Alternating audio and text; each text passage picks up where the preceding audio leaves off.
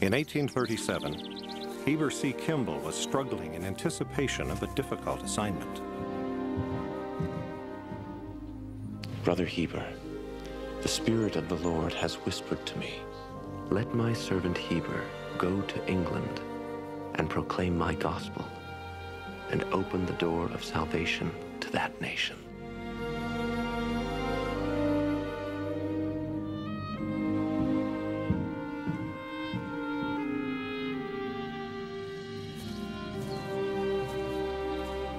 The idea of such a mission was almost more than I could bear up under. I was almost ready to sink under the burden which was placed upon me. However, all these considerations did not deter me from the path of duty. The moment I understood the will of my Heavenly Father, I felt a determination to go at all hazards, believing that He would support me by His almighty power and endow me with every qualification that I needed.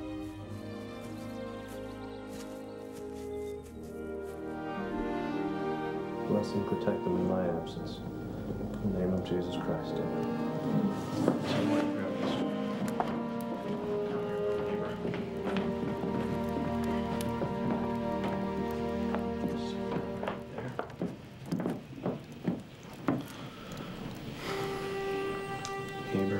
Kimball.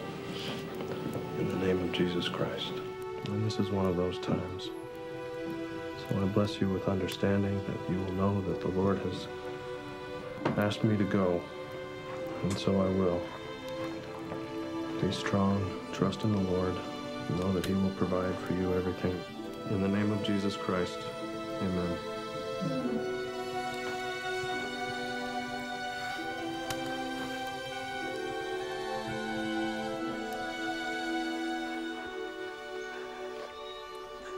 Although my family was dear to me, and I should leave them almost destitute, I felt that the cause of truth, the gospel of Christ, outweighed every other consideration.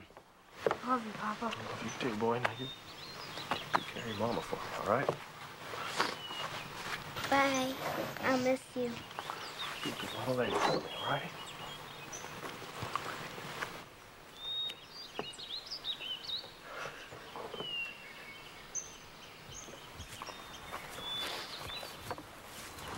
Papa, Papa!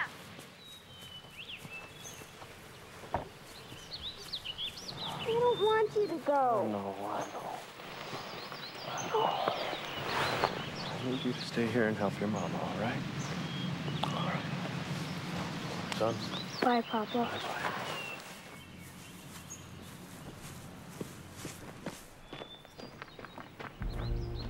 In section 64 of the Doctrine and Covenants, the Lord outlines one of the fundamental principles of Zion. Behold, the Lord requireth the heart and a willing mind.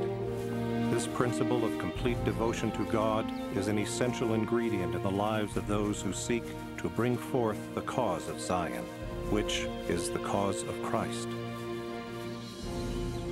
And Elder Kimball served that cause as he fulfilled an honorable mission in England, converting hundreds. He then followed the call of a prophet to help build a city out of the swamps of the Mississippi. And then came another call to return to England on a mission with the Quorum of the Twelve. Some refused the call, but to Elder Kimball, there was no question. Even though he, along with Brigham Young and their families, were suffering from malaria and couldn't rise from their beds. Right by the fire there, son. Could you bring me a drink of that?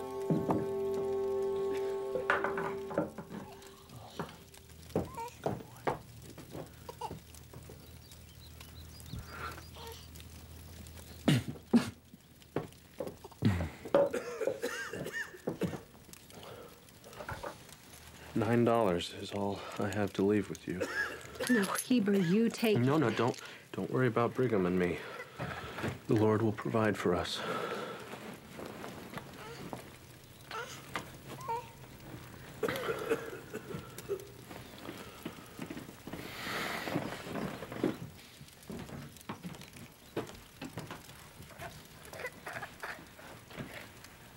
You take good care of your mama, your brothers and sister while I'm away, all right?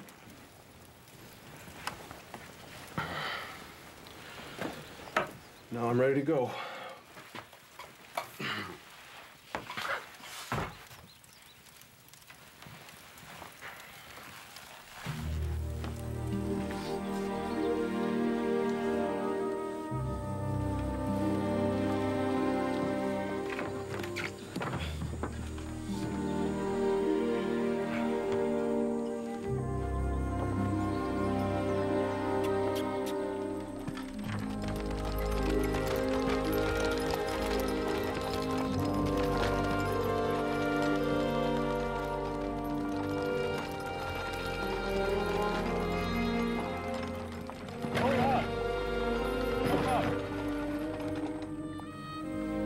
Tough, isn't it? Let's rise up and give him a cheer.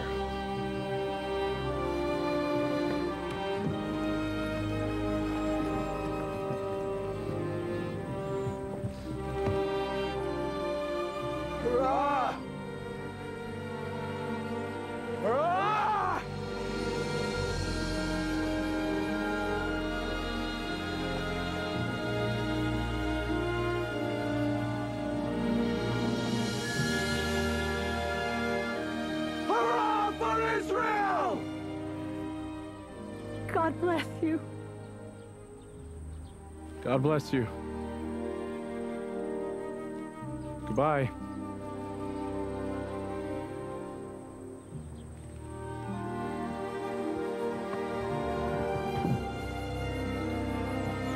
Let's go. After this, I felt a spirit of joy and gratitude at having the satisfaction of seeing my wife standing upon her feet instead of leaving her in bed, knowing as I did that I should not see them again for two or more years. Those who seek to bring about Zion must do as Heber C. Kimball did give the Lord their heart and a willing mind.